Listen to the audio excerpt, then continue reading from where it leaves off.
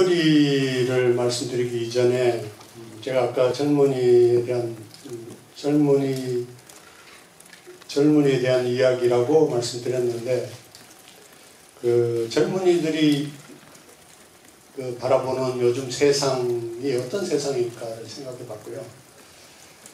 음, 뭐 이거는 한국의 현실뿐만 아니라 뭐 세계적인 문제일 거라고 생각합니다만 그 지금 젊은이들은 어쩌면 그 자기 부모 세대보다 더 못 살고 힘들어지는 최초의 세대인 것 같다는 생각도 듭니다.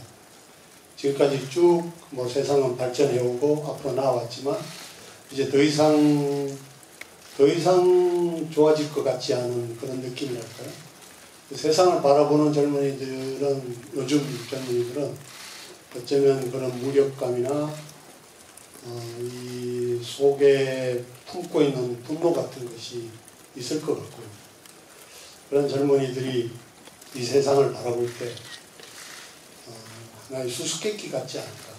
과거에는 뭐 자기 현실이, 힘, 현실이 힘들어지는 대상이 분명했다면 지금은 좀 뭐, 무엇 때문에 어, 자기의 미래의 희망이 보이지 않는지 찾기 어려운 그런 세상을 마주하고 있는 그런 무력감과 내재된 분노 같은 것이 있을 거라고 생각하고요. 어, 이 영화는 뭐 그런 걸 아주 간접적으로 바로 직접적으로 다루는 영화는 아니고요. 그 그런 젊은이의 상태를 일상 속에서 이 세상의 어, 미스테리를 마주하는 그런 영화라고 볼 수 있는데, 어, 뭐 단순하게 보면 이 종수 역을 맡은 유아인 씨, 유아인 씨가 맡은 종수라는 주인공이 벤이라는 인물을 만날 만나는데 저 벤은 도대체 어떤 인물일까? 미스테리가 거기서부터 시작되고 있고요. 어, 그걸 그 벤이라는 인물이 누구인지를 따라가는 이야기일 수 있는데 그 가운데에는 이제 햄이라는 어, 중요한 어떤 그 벤과의 어떤 어, 매개를 하는 어떤 여자 친구가 있고요.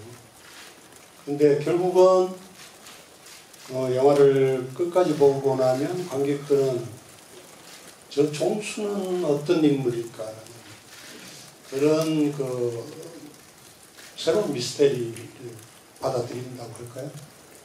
그런 구조라고 할 수 있습니다. 설명하다 보니 또 알쏭송쏭한 얘기가 된 다.